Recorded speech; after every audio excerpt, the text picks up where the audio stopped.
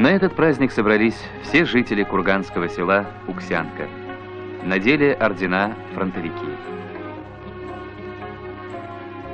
В совхозе навечно установлен танк, боевая машина Т-34. Его наличные сбережения построили в годы войны рабочие Уксянской МТС. 530 человек ушло из села защищать родину.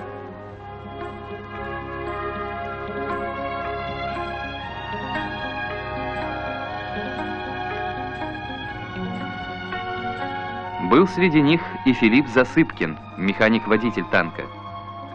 Филипп Семеновичу Засыпкину по просьбе земляков и был вручен именной танк. Он прошел на нем до Берлина вместе с командиром Адам Саркисовичем Ганджияном. Сейчас, спустя 33 года, фронтовые друзья встретились здесь, в Уксянке, у подножья своей боевой машины.